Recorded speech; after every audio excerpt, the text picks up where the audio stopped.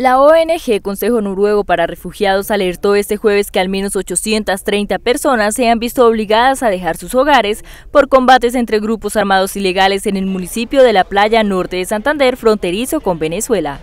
Así lo informó la ONG en un comunicado en el que además señaló que los desplazados de esta región del Catatumbo necesitan atención. La población en la playa ha decidido huir, por eso estas personas deben ser protegidas y asistidas urgentemente, dijo el director de país del Consejo Noruego para Refugiados Christian Business. Desde el 15 de junio las familias que abandonaron sus hogares se resguardan en albergues improvisados, corredores y casas aledañas donde las condiciones de estos espacios no son adecuadas. Mi organización ha sido informada que cerca de 250 personas duermen en una casa que tiene una sola unidad sanitaria, apostilló Business. Según Consejo Noruego, la situación es muy difícil y detalló que hay personas que duermen a la intemperie con bajas temperaturas y expuestas a la lluvia. A esto se le añade que no todos tienen colchonetas o cobijas y que el acceso al agua potable es limitado. Es urgente garantizar la protección de la población civil en la playa y activar los mecanismos del Estado para brindar atención a sus necesidades humanitarias en agua, saneamiento, albergue, alimentación y educación, dijo el funcionario.